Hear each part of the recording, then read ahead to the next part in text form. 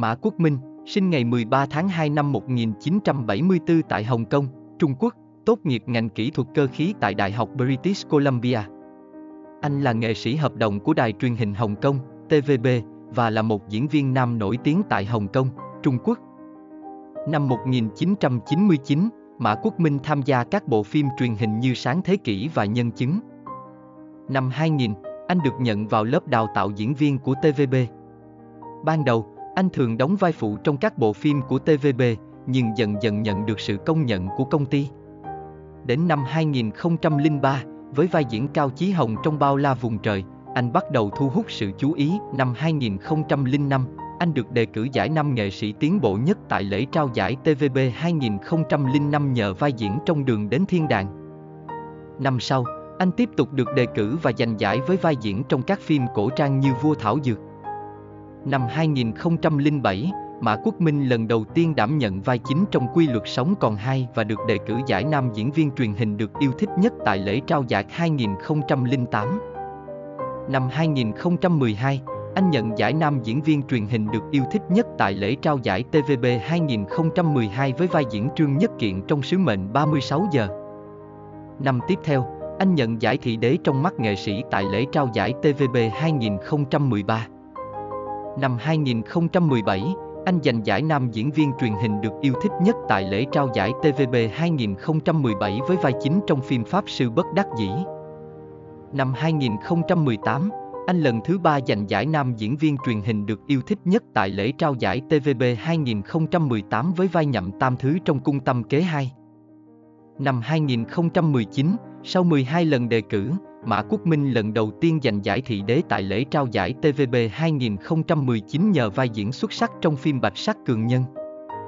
Năm 2021, anh giành giải nam diễn viên truyền hình được yêu thích nhất lần thứ tư tại lễ trao giải TVB 2021 với vai diễn bác sĩ tư vấn nhi khoa Huống Tùng Hân trong phim Bác sĩ Nhi khoa.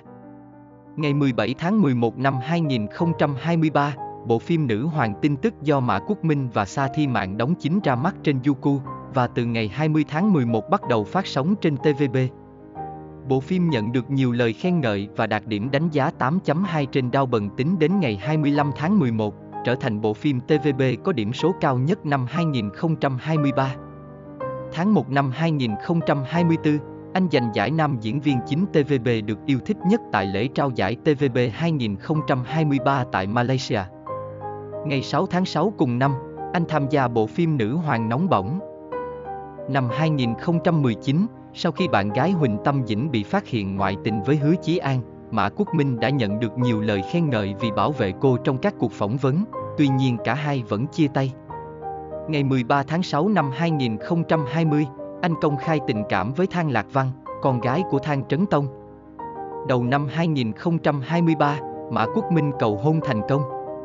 Ngày 13 tháng 12 cùng năm, anh tổ chức hôn lễ với Thang Lạc Văn tại đảo Koh Samui, Thái Lan. Đời tư của Mã Quốc Minh Năm 2008, Mã Quốc Minh và Hồ Định Hân xác nhận mối quan hệ tình cảm khi cùng nhau tham gia chương trình Vũ động kỳ tích 2. Mối tình của họ kéo dài 2 năm. Năm 2019, sau khi bạn gái Hoàng Tâm Dĩnh bị phát hiện ngoại tình với Hứa Chí An, Mã Quốc Minh đã bảo vệ cô trong các cuộc phỏng vấn, gọi cô là bạn của mình. Năm 2020, Mã Quốc Minh và Thang Lạc Văn, con gái lớn của Thang Trấn Tông, đã đề cập đến mối quan hệ tình cảm của họ trong một cuộc phỏng vấn. Ngày 13 tháng 6 cùng năm, cả hai công khai mối quan hệ trên mạng xã hội. Năm sau, Thang Lạc Văn đăng trên mạng xã hội rằng nếu Mã Quốc Minh giành được giải thị đế một lần nữa, họ sẽ kết hôn. Năm 2022, Mã Quốc Minh và Thang Lạc Văn đã sống chung và nuôi hai con mèo nhỏ. Sau 2 năm chính thức hẹn hò, vào ngày đầu năm mới 2023, Mã Quốc Minh đã cầu hôn thành công. Ngày 13 tháng 12 cùng năm, Mã Quốc Minh và Thang Lạc Văn tổ chức hôn lễ tại đảo Koh Samui, Thái Lan, với sự tham dự của nhiều bạn bè thân thiết như Cao Hải Ninh, Lâm Tử Thiện và Trần Mẫn Chi. Đóng vai phụ suốt 21 năm, cuối cùng Mã Quốc Minh cũng giành được giải thị đế của TVB, kỹ năng diễn xuất của anh đã đạt đến mức thượng thừa. Bộ phim đang hot hiện nay là Nữ Hoàng tin tức đã giành được số điểm cao 8,1. Sa Thi Mạng và Mã Quốc Minh đấu pháp trong phim khiến khán giả phải thốt lên rằng đây mới chính là phong cách của TVB. Bộ phim này gây bão không phải vì đề tài độc đáo hay chủ đề phụ nữ độc lập đáp ứng thị hiếu của khán giả, mà bởi vì bộ phim này khác hẳn với những bộ phim giả danh về công sở, lãng mạn. Khán giả có thể thấy được cuộc đấu tranh thực sự trong công sở qua bộ phim này, tình cảm chỉ là gia vị của phim mà thôi. Tất nhiên, một bộ phim có thể đạt được thành công lớn, sự nỗ lực của diễn viên cũng là yếu tố quan trọng. Diễn xuất của Sa Thi Mạng ở TVB được xem là hàng đầu. Còn Mã Quốc Minh, qua bộ phim này, lại một lần nữa thể hiện diễn xuất phi thường của mình. Nhân vật mà Mã Quốc Minh thủ vai trong bộ phim này có thể gọi là chính tà khó phân. Để có được quyền lực và địa vị trong công sở, anh ta không ngại dùng mọi thủ đoạn, dẫm đạp lên người khác để tiến lên. Nhân vật này rất dễ bị ghét, nhưng khi phân tích tình tiết và chủ đề câu chuyện, ta sẽ thấy sự lựa chọn của nhân vật là hợp lý. Việc dùng thủ đoạn để đấu pháp để thăng tiến không hiếm thấy trong công sở thực tế. Mặc dù cách làm này không đáng khuyến khích, nhưng lại cực kỳ gần với thực tế. Có thể nói, Mã Quốc Minh đã dùng diễn xuất để tái hiện đúng nhân vật trong kịch bản, để khán giả thấy được những khiếm khuyết của con người thông qua câu chuyện. Ra mắt 21 năm, Mã Quốc Minh đã từng thủ vai nhiều nhân vật hài hước, vui nhộn, và hình tượng cá nhân của anh cũng rất gần gũi với phong cách chất phát, chân thật. Nhiều cư dân mạng còn làm mem từ gương mặt thật thà của anh. Tuy nhiên, dù có gương mặt vô hại, Mã Quốc Minh cũng đã thủ vai nhiều nhân vật phản diện. Trong sứ đồ hành giả, vai phản diện của anh đã nhận được sự khen ngợi nhất trí từ khán giả. Trong bác sĩ nhi khoa phát sóng năm 2021, Mã Quốc Minh thủ vai một bác sĩ có lý tưởng, có hoài bão, nhưng lại dùng thủ đoạn để đạt được mục đích cá nhân. Nhân vật đó và nhân vật trong nữ hoàng tin tức lần này có nhiều nét tương đồng, cũng là một nhân vật chính tà khó phân. Những nhân vật như vậy đòi hỏi diễn viên phải có diễn xuất chắc chắn để thể hiện sự đa chiều của nhân vật. Mã Quốc Minh có thể tái hiện các nhân vật này sống động như thật, diễn xuất của anh không có gì phải bàn cãi. Trong nữ quyền, Mã Quốc Minh đã thể hiện quá trình thay đổi nội tâm của một nhân vật nhỏ trước sự thay đổi của hoàn cảnh bên ngoài. Nhân vật từ thiện thành ác, để có được chỗ đứng, không tiếc mọi giá. Loại nhân vật này đòi hỏi diễn viên phải thể hiện được cuộc đấu tranh nội tâm của nhân vật. Những khán giả đã xem bộ phim này đều nói, ánh mắt của Mã Quốc Minh cũng là một phần của diễn xuất. Mặc dù diễn xuất của Mã Quốc Minh đáng được khen ngợi, nhưng những năm trước đây, anh luôn đảm nhận vai phụ, ít có cơ hội thủ vai chính. Khi đóng phi hổ, vai phụ của Mã Quốc Minh đã vượt qua vai chính, nhiều cư dân mạng đều nói rằng diễn xuất của Mã Quốc Minh đã đạt đến mức thượng thừa. Khi đóng bạch sắc cường nhân, Mã Quốc Minh đã dùng diễn xuất tinh tế để xây dựng một nhân vật đầy đủ, phong phú nội tâm. Anh đã chứng minh bằng thực lực của mình rằng mình có thể đóng vai chính. Mã Quốc Minh cũng nhờ bộ phim này mà giành được giải thị đế của TVB. Sau 21 năm, cuối cùng Mã Quốc Minh đã vượt qua khó khăn, con đường anh đã đi qua thực sự không dễ dàng. Từ con đường sự nghiệp của Mã Quốc Minh, có thể thấy rằng, một diễn viên, dù thủ vai chính diện hay phản diện, dù là vai chính hay vai phụ, chỉ cần nghiêm túc và tận tâm với vai diễn, dù thời điểm bùng nổ đến muộn, thời gian cũng sẽ không phụ lòng những nỗ lực của diễn viên. Trong thời gian nữ hoàng tin tức đang ho, truyền thông Hồng Kông đưa tin Mã Quốc Minh và Thang Lạc Văn sắp sửa có tin vui. Hai người đã nảy sinh tình cảm từ phim trường, sau khi công khai mối quan hệ, họ thường xuyên chia sẻ những khoảnh khắc ngọt ngào trên mạng xã hội với khán giả. Sau khi xác định ngày cưới, nhiều người trong giới đã gửi lời chúc phúc. Có thể thấy, Mã Quốc Minh thực sự có nhân duyên tốt. Hiện tại họ đã chính thức trở thành vợ chồng. Sự nghiệp của Mã Quốc Minh Cha của Mã Quốc Minh là một kỹ sư cơ khí, anh còn có hai chị gái sinh đôi. Năm 1991, Mã Quốc Minh di cư sang Canada và sau đó theo học ngành kỹ thuật cơ khí tại Đại học British Columbia. Trong thời gian học đại học, Mã Quốc Minh đã tham gia câu lạc bộ kịch và bắt đầu có hứng thú với nghệ thuật biểu diễn. Năm 1998, Mã Quốc Minh tốt nghiệp Đại học British Columbia. Do mẹ anh không thích nghi với cuộc sống ở Canada, gia đình anh đã trở về Hồng Kông. Tại đây, anh bắt đầu công việc đầu tiên của mình tại một công ty kính xây dựng. Sự nghiệp diễn xuất Từ năm 1999 đến năm 2004 Năm 1999, Mã Quốc Minh có cơ hội xuất hiện trong bộ phim Sáng Thế Kỷ 1, Địa sản Phong Vân, trong đó anh đóng vai Stanley. Cùng năm đó, anh tham gia bộ phim cổ trang ly kỳ nhân chứng, trong đó anh vào vai Vương Gia. Năm 2000, anh được nhận vào khóa đào tạo diễn viên thứ 14 của đài truyền hình Hồng Kông, TVB. Cùng năm đó, anh hợp tác lần thứ hai với đạo diễn Thích Kỳ Nghĩa và tham gia bộ phim truyền hình sáng thế kỷ 2, Thiên địa hữu tình. Theo thông tin, Mã Quốc Minh còn hợp tác lần đầu tiên với đạo diễn Lương Gia Thụ vào năm 2003, tham gia bộ phim truyền hình Luật Chính Tân Nhân Vương và đóng vai khách mời trong bộ phim này. Từ năm 2000 đến năm 2004, Mã Quốc Minh đã hợp tác 3 lần với đạo diễn Phan Gia Đức, từ vai A Bang trong Thử Thách đến Mạnh Lệ Quân và vai Cao Chí Hồng trong Bao La Vùng Trời 1.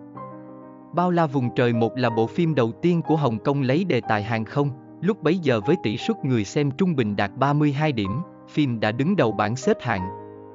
Từ năm 2005 đến năm 2011 Năm 2005, vai diễn đặng kính thần trong đường đến thiên đàng giúp Mã Quốc Minh được đề cử giải năm nghệ sĩ tiến bộ tại lễ trao giải lần thứ 38. Sau đó, anh nhận giải năm nghệ sĩ tiến bộ tại lễ trao giải lần thứ 39 với vai diễn trong phim cổ trang Vua Thảo Dược. Ngày 14 tháng 2 năm 2005, phim Xe Duyên phát sóng lần đầu tại Hồng Kông. Cùng năm, anh tham gia các phim truyền hình dấu vết của sự lừa dối và chuyện về chàng vượng. Ngày 11 tháng 4 năm 2005, anh phát hành album Sa Bảo Huynh Đệ Sông Tình Quang. Năm 2006, anh hợp tác lần thứ năm với đạo diễn Phan Gia Đức trong phim Đáng mặt nữ nhi và tham gia hai phim tình cảm bảo hiểm tình yêu và trên cả tình yêu. Năm 2007, Mã Quốc Minh lần đầu tiên đóng vai chính trong phim Quy luật sống còn hai với vai Tân Vạn Quân. Anh được đề cử giải nam diễn viên truyền hình được yêu thích nhất tại lễ trao giải Vạn Thiên Tinh Huy. Từ năm 2008 đến 2011, anh tham gia gần 20 bộ phim truyền hình như Đội điều tra đặc biệt, Lời nói ngọt ngào, Thiếu niên tứ đại danh bổ, Nữ hoàng cổ phiếu và đóng vai khách trong phim điện ảnh 72 khách trọ. Từ năm 2012 đến năm 2018. Năm 2012, Mã Quốc Minh hợp tác lần thứ năm với đạo diễn Phan Gia Đức trong phim Sứ mệnh 36 giờ với vai Trương Nhất Kiện. Tập cuối của bộ phim đạt rating trung bình 37 điểm, cao nhất là 39 điểm. Anh giành 4 giải thưởng với bộ phim này. Bao gồm năm diễn viên truyền hình được yêu thích nhất, cặp đôi màn ảnh, 15 nhân vật truyền hình và 6 nhân vật nam TVB được yêu thích nhất. Cùng năm, anh đóng vai Tư Mã Tín trong Hồi đáo Tam Quốc, giành giải nam diễn viên TVB được yêu thích nhất và tham gia các phim danh gia vọng tộc, Trăm ngàn kỳ thú, Lớp B cao, Phi hổ. Năm 2013, Sứ mệnh 36 giờ phần 2 phát sóng, Mã Quốc Minh giành giải thị đế trong mắt nghệ sĩ tại lễ trao giải TVB. Anh cũng đóng vai thám tử Tư Chu Tổ An trong Mùa Tình Yêu và vai Cao Chí Hồng trong Bao La Vùng Trời 2. Anh cũng tham gia phim điện ảnh Duyên đến là trò chơi. Năm 2014, anh tham gia phim Hàng Sơn Tìm Long với vai Chu Trường Thắng, được đề cử giải nam diễn viên truyền hình được yêu thích nhất và nam diễn viên chính xuất sắc nhất tại lễ trao giải TVB lần thứ 47, giành giải nam diễn viên TVB được yêu thích nhất. Năm 2017, anh đóng vai Mã Kế trong phim Pháp Sư Bất Đắc Dĩ, giành giải nam diễn viên truyền hình được yêu thích nhất tại lễ trao giải TVB. Năm 2018, anh giành giải nam diễn viên truyền hình được yêu thích nhất lần thứ ba tại lễ trao giải TVB với vai nhậm tam thứ trong cung tâm kế 2. Anh cũng tham gia các chương trình thăm dạ Mỹ thực đoàn, huynh đệ đại trà phạn, do chị Shopping. Với chương trình do chị Shopping, anh giành giải người dẫn chương trình xuất sắc nhất tại lễ trao giải TVB. Từ năm đến nay, năm 2019, Mã Quốc Minh hợp tác với Đường Thi Vịnh trong phim Y khoa Bạch Sắc Cường Nhân với vai bác sĩ Đường Minh. Sau 20 năm làm nghề và 12 lần đề cử giải nam diễn viên chính xuất sắc nhất tại lễ trao giải Vạn Thiên Tinh Huy, anh cuối cùng giành giải nam diễn viên chính xuất sắc nhất. Cùng năm, anh tham gia các phim Mỹ lệ chiến tranh, Phi hổ chi lôi đình cực chiến và phát hành album Nguyện lưu giữ em. Năm 2020, Mã Quốc Minh đóng vai tài xế trong phim Pháp Sư Bất Đắc Dĩ 2. Cùng năm, anh tham gia các phim Vợ tôi là đặc công, Sứ đồ hành giả 3 và chương trình Tóc sâu lão hổ đều phải nói. Năm 2021, sau phim Bạch Sắc Cường Nhân, anh tiếp tục tham gia phim Y khoa bác sĩ nhi khoa với vai Huống Tùng Hân. Bộ phim giành giải phim truyền hình xuất sắc nhất tại Giải thưởng sáng tạo châu Á 2022 anh giành giải nam diễn viên truyền hình được yêu thích nhất lần thứ tư tại lễ trao giải TVB 2021. Cùng năm, anh hợp tác với Sầm Lệ Hương trong phim Gia đình Baby đến rồi và tham gia phim Lực lượng phản ứng 2021. Năm 2022, anh hợp tác với Quách Tấn An và Hồ Định Hân trong phim Bạch Sắc Cường Nhân 2, được đề cử vào top 5 giải nam diễn viên chính xuất sắc nhất và nam diễn viên chính TVB được yêu thích nhất tại lễ trao giải TVB 2022. Cùng năm, anh tham gia phim trinh thám Hắc Kim Phong Bạo với vai Giang Hiếu Toàn. Năm 2023, anh tham gia phim Bác sĩ Nhi khoa 2 do đạo diễn Phương Hùng trước thực hiện.